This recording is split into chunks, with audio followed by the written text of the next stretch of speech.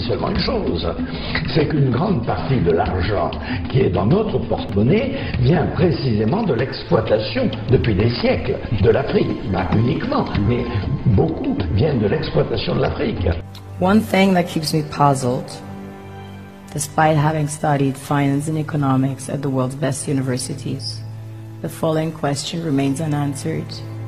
Why is it that 5,000 units of our currency is worth one unit of your currency, where we are the ones with the actual gold reserves? It's quite evident that the aid is in fact not coming from the West to Africa, but from Africa to the Western world. The Western world depends on Africa in every possible way, since alternative resources are scarce out here. So how does the West ensure that the free aid keeps coming? By systematically destabilizing the wealthiest African nations and their systems, and all that backed by huge PR campaigns. Leaving the entire world under the impression that Africa is poor and dying and merely surviving on the mercy of the West.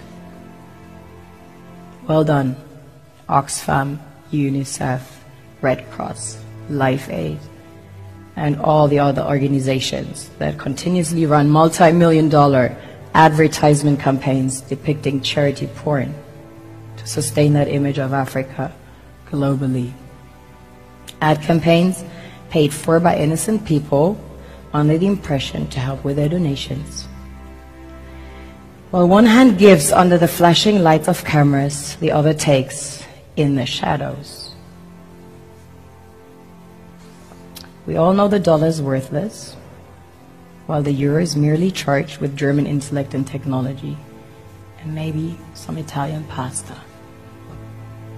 How can one expect donations from nations that have so little? It's super sweet of you to come with your colored paper in exchange for our golden diamonds.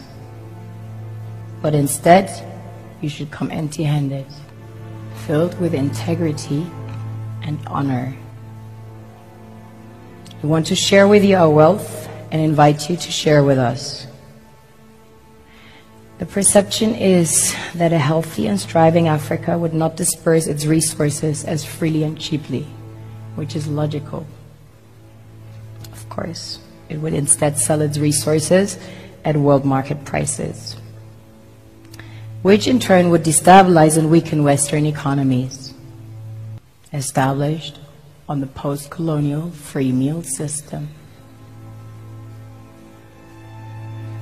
Last year, the IMF reports that 6 out of 10 of the world's fastest growing economies are in Africa, measured by their GDP growth. The French Treasury, for example, is receiving about 500 billion dollars year in, year out foreign exchange reserves from African countries based on colonial debt they forced them to pay. This is what happens in the human world, the world we have created.